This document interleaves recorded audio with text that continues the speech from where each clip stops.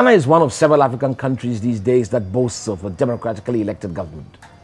We have a stable democracy and we go to the polls every four years. But there is more to democracy than that. My guest heads a think tank that has the sole purpose of deepening democracy.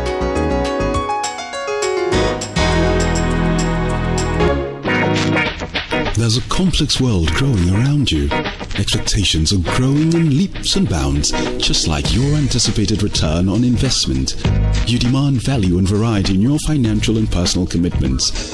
Your life is based on a dynamic system of goals and achievements. At Imperial Homes, your comfort is what shapes our designs as we go the extra mile to represent you. So when it all comes together, it's your investment, it's your image, it's your life. Choose Imperial Homes. Luxury is our hallmark. Call us now on 0573 899 899 or visit us at www.imperialhomesghana.com. What is it that you would say is wrong with our democracy? Uh, let me just say that indeed uh, every democracy is supposed to yield dividends. It shouldn't necessarily become a flagging, if you like, democracy. Otherwise, it wouldn't really inure to the benefits of the people. I would think that the challenge of our democracy has to do with the way the spoils are shared. And I use spoils here in a pejorative manner, but essentially to suggest that the, the cake, the national cake as it were, the processes of making the cake itself and the decision to distribute the cake itself, there are significant the, in, the, the, well, there are, dysfunctional, if you like, processes uh, towards achieving those two set of goals, the process of making the cake and the process of distributing the cake.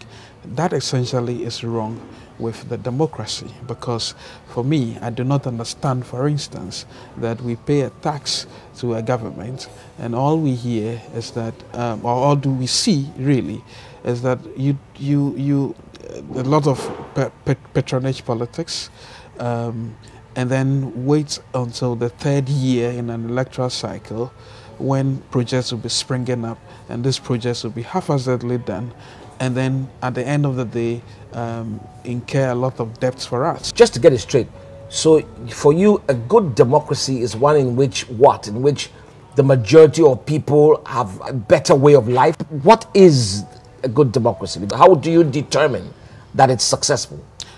Ordinarily, I would say that he wants to see the, the clear definition of the separation of powers, essentially uh, uh, an independent judiciary that does its work well, an executive that implements well, and a parliament that passes laws. But unfortunately, you do not have that type of arrangement you have a situation where you have an overbearing executive, an executive that introduces bills in parliament and almost, um, you know, whips the majority into line. Mm. So your concern is that we're not even practicing it properly. Am I correct to say well, that? Well, we aren't practicing that properly. It's only on paper. Yeah, it's only on paper. A, there's a lot of there's a lot of backdoor arrangements which do not necessarily inure to the collective benefit of the people, but just present personal interest. What do you mean backdoor arrangements? Well, when I see a situation where a, a bill is supposed to be introduced in Parliament, which essentially would mean that the uh, people's livelihood will be much better, mm. and all you hear is that, in spite of the relevant opposition that is brought to bear on the bill, uh, yeah, in, in any case, any decision in Parliament, um, the majority, in spite of the obvious gaps and flaws, would railroad it through Parliament. I do not understand how um, petroleum agreements uh, yield close to, I mean, in, in sum of about a billion dollars, could be railroaded through Parliament overnight when nobody has read significantly understood the details of How those do you agreements. know that? Because How do you it know happened. That? How do you say nobody has because read it happened. It? Happened. I mean, the, no, no, these, that, these, that nobody this, has read it. Well, when I How say nobody has read it, it could be metaphorical. What I mean is that They don't show a knowledge they, of it. They don't show a knowledge of it. In any case, the fact that these things are rushed through Parliament, it's worrying. If at the committee stage you have people who may have seen that, there isn't enough evidence when the debates are held that these things have been subjected to scrutiny. How That is- different is, this from elsewhere? Is it is this not usual that in many democracies the majority simply carries the vote within the legislature? That Ghana is not unique in that respect? But it's informed, it's informed voting. You see, the, what we need to understand here, and I probably want to take back, uh, I do not, I do not subscribe to that view that because these things happen elsewhere, possibly mature democracies, It's we okay should that they happen entertain them here. In any case, they could afford a little dent on an economy. I mean, a, a, a, I mean, a, dent on an economy makes significant impact than a little, if you like, political arrangement that makes a bill pass through in the U.S. Congress. You are saying essentially say- that we cannot afford We- to make the mistakes that others shouldn't. make. We this shouldn't afford that. I mean, look, there are 23 uh, oil-related contracts. Only seven of them were seen to have gone through Parliament. This cannot be done, or this shouldn't be the case for a flagging, if you like, a young democracy. Why is that the case? Why, Well, why because they have vested interest. They're deep vested interest. That they're not interested in allowing the processes to work. That's essentially the case. I was going to go on to the point about why people, why democracy may not be yielding the necessary fruits for people. You see, it's the essence of state capture, where decisions are taken at the center, actually at the heart of the executive. Now, to the extent that decisions are not decentralized to the local level, is essentially what we see in the fact that people in the districts and essentially local governments seems to be collapsed in terms of sanitation management, in terms of clean water that people have to uh, take, and indeed in terms of whatever business decisions or business activities occur at the district level. Everybody looks up to Accra. We will come to the things that you see as the shortcomings, but my interest is in the think tank that you head, Imani itself. Often you're accused essentially of simply being an arm of the opposition, of, of, of existing to make it difficult for government, essentially to make it unbearable. What do you say to that? Well, first of all, I'll say that the accusations uh, appear to be true only because the opposition appears obviously to be in perpetual slumber. Um, they're, they're sleeping. So it's people find it difficult to understand why you who do not have a stake in an election as in standing for an electoral mm. position mm. would be subjecting the government's programs and projects to the rigorous test of value for money analysis vested interest analysis and then well as it were use the results or publicize the results which is what our think tank does Essentially, way, that you have almost sort of taken up the role of the opposition. I mean, Well, it, it is interpreted as if that. that is the way it comes across, we do not apologize. And let me just say that in any democracy, mm. the government does what it does to survive the next election. Mm. And the government employs enough praise singers. So if you're a civil society actor and all you do is to shower praises, you become redundant. But that does not mean that you don't offer rare praise. Does when you see government do anything? Do you ever feel that there are good things that government does? What is positive about our democracy? What is positive about our democracy is that when the rot is detected, um, all parties seem to come together to say, well, this is not right. And we think this is the way to go about it. We do not fight. We do not trade blows. Not even in our parliament. We don't do that. Um, but therein lies the hypocrisy of the Ghanaian as well, because you see, uh, at the end of the day, we say, Famanya may give it to God. Can we solve it this way? We are not brutal. Occasionally, there have been flashes of excellence. You see, during the last elect- electoral election petition, you saw how hot the electoral commissioner became. For the first time, there was a confrontation of what, it, what the, the, the God nature of public service It was untouchable. It was untouchable. And you're saying, to saying the extent that the last election in Ghana, we, we essentially begun to touch the untouchables. Exactly. When the dispute occurred. And to the extent that we can do a lot more of that mm. to confront the status quo with reasoned debates and reasoned arguments and within the confines of the rule of law, that will become uh, a feather cap, a feather, uh, uh, well, it could A be feather in the significant feathers in the cap for Ghana. Do you worry about the suggestion sometimes that your actions sometimes almost sort of border on rebellion and sort of undermining the status quo? Not quite. You see, cockroaches do Do- not do- like cockroach, cockroaches in the dark. Usually, do not like light. So once the light is flickered, They are then they, they become uncomfortable. I'm not saying politicians are all cockroaches. What I'm just saying is that perpetually the politicians have kept us in the dark. But while they stay in the dark, there are significant people who are out there who ought to be told that there must be processes through which light ought to be shined.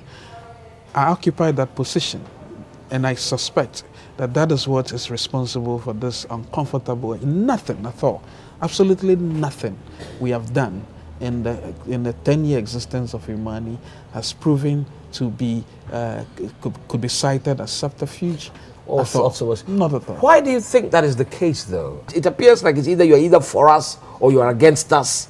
And if you criticize us, you are the enemy. What is that? That is where the politician lives. So the politician is interested in the verbose language, in the fact that uh, I can do the low hanging fruits for you.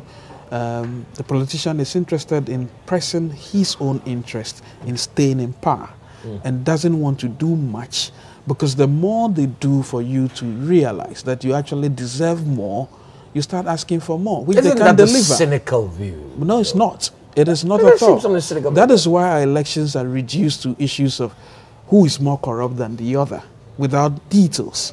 The last election, by the way, was the only election, probably in a long while, probably in three decades, where you realize that civil society pushed the agenda of free education, and it was Imani that did that. Some people have accused us in the position, the opposition, that we lost the election for the opposition because we brought the issue of free education and the consequences of it and challenge the opposition. But is that But not the, point. problem? That's the issue that Imani seems to take on these issues that sometimes would appear to be you know, politically charged issues that are meant for elections or that people see as the role of political parties. Is that is that not where you But get? David, but David, politicians are not islands unto themselves. And to the extent that they bring out some of these untested, if you like, ideas, they'll be subjected by a group of people who are devoted to the idea of having a business plan in addition to a manifesto. So how do we fix it? How do we fix it? How do we How do we how, how do we come to a point where you know we don't have to have a situation where they have to be think tanks always trying to force them back online, where you don't have to have politicians that are just self-seeking. How do we fix it? Oh, how we fix it, we sit around the table and keep on talking. See, one party has got to understand that this is the this is the a, a, new dawn, if you like, of trading ideas, hmm. and to the extent that you can't muzzle one group, because when you do, several okay, several will rise up. The social media, Yeah. the citizen journalism, hmm. Hmm. to the extent that there are various avenues through which you can actually be subjected to some rigor the only thing you have to do is to settle, and that, and that settlement, uh, that that part of that settlement uh, uh, w- would mean that whatever you want to do, you lay it bare. These are new avenues. These these these are new avenues. Would you say?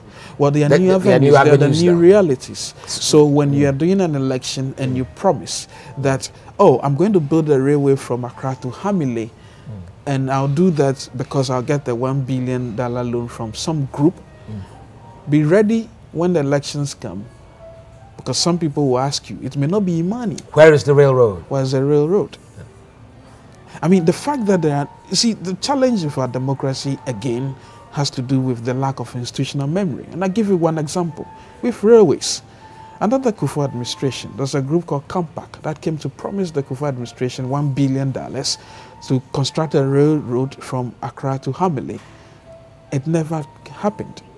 Could you believe the same group came back promising six times more to Atta Mills, may so rest in peace, to do railways in the country without questioning why the one billion did not come in the first place, went ahead They didn't deliver anything. So we until have the poor leaders. professor died. We have poor leaders. We are leaders who are busily pressing the political interest of trying to perpetuate themselves in power without showing significant results for it. The problem That is is they the are point. consumed by the political office. They are consumed by the political office, and to the extent that there is no coherence in some of the things that they also uh, do, Yeah. that is the bane of our politics. Yeah, no queries. So, which brings me to the issue of think tanks and, you know, civic duty Yes. and that sort of thing. yes. I mean, you say, and I find it interesting that, well, we have to continue talking. I mean, in a sense, you know, there's so many talk shops in Ghana. There's a lot of talk. Everybody knows what's wrong, but nothing happens. Have we not talked enough? First of all, let me just backtrack a bit and say think tanks are supposed to be second hand dealers in ideas. Depending on how they do it, that is another matter. We think that we should be activist think tanks. But you are right. There's been a lot of talk and there's no action, which is why some of us within the think tank fraternity decided to also start pressing the issues or pressing the buttons of pressure groups. Is that Occupy Ghana? Occupy Ghana. How are you linked to Occupy Ghana, by the way? I'm a founding member. You're a founding member of Occupy Ghana. We, we seek, by the way, the, through Occupy Ghana, mm. to press public interest litigation mm. as another arm of asking for delivery of service from the public servants. Occupy Ghana essentially takes, you hope, will take it from talking only, Yes, to, demanding action. And demanding action. and in the existence of Occupy Ghana Mm. for just about two, three months, there's been significant results, six months I should say, there's been significant results. Like what? The Auditor General, Yeah. for the first time, has been challenged to perform his duty of surcharging people he reports. He has not surcharged anybody. He has not surcharged significant not- number of people. He will tell you he surcharged a few people, Hmm. but those are little fries. the point I'm trying to make is that so you have not gotten anything done. You, you essentially you've taken him on, but nothing has come out of it. No, because there's a 14 day ultimatum which expires, I think, in um, two days or so. And then what will you do if he does not? What will you do? Well, do? he's beyond been that? taken to court. I mean, in, we, we are a nation of laws. Once the Supreme Court says hmm. this is what you need to do, hmm. but even before the case, hmm. the, the And what court- if the court says that he's fine? then we leave it. But then we find another route where we take on his own report, look for those individuals, and send them press civil cases in the court to recover the loot. By the way, even before the court decides, or before the matters are brought before the court, mm. the president of the country has, and I think it's, it's, it's, it's in his interest, and we need to applaud him, mm. has also issued a statement to the Auditor General. I will no longer tolerate you writing mere reports. The finance minister, in his budget statement, I've forgotten the paragraph, mm. cited that as well. That from now, would ensure that the reports of the Auditor General do not become a, rehearse, a matter for rehearsals and for public ridicule. And this is this is you would attribute this to the activities of Occupy Ghana. Essentially, 99.9%. What do you want the Auditor General? Let me just come to the issue itself as we wrap up this interview. I would like to focus specifically now on, on that issue with the Auditor General, the Accountant General, all these major, if you like, state you know, institutions that you're, you're- you're focusing on. Wh- What are you seeking to achieve ultimately with the, the, the pressing the Auditor General? First of all, good governance. Yes, I but what is say. he supposed to have done right? What what is not, Oh, well, not the- being done right? The Auditor General is constitutionally mandated to not just report cases of infractions, misappropriations, uh, maladministration, or malfeasance. What he needs to do is to, in most cases, surcharge people he is identified as perpetuating the crimes, if you like, that I've described uh, right now. when you say surcharge, what you're saying is that he must recover money. Recover the monies. Right. It's very important. And apparently, nothing significantly has been done for.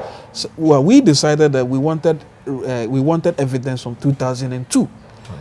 What he brought to us were a motley few cases which are which border on administrative infractions. Nothing substantial. So he has not But been in that period. Yeah. We've had significant amounts of millions, even not billions, being billowed into the skies. And I think that in itself is an infraction. So you want And to hold him accountable? Hold him accountable.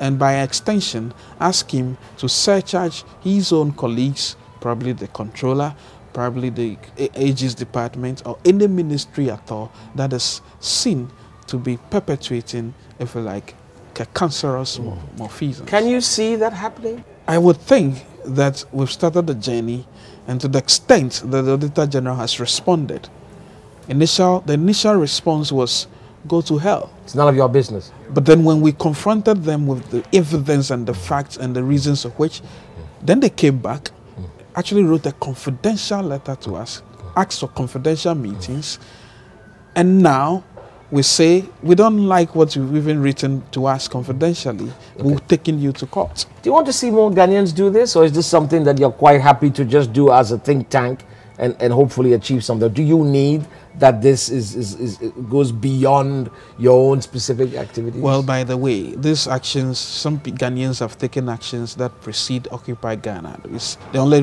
difference here is that this is a group. You remember the case of the pan latrine right? Where somebody went to court to, to, essentially say they are banning the AMA, the uh, metropolitan authorities have got to ban pan latrines. There's also a recent case where uh, a, a, member of the public took the, the Ghana Education Service to court, I think, uh, that they should be paying, uh, was it the government, that they should be paying the amounts that were due them from the consolidated fund. The court ruled in its favor. So the point being?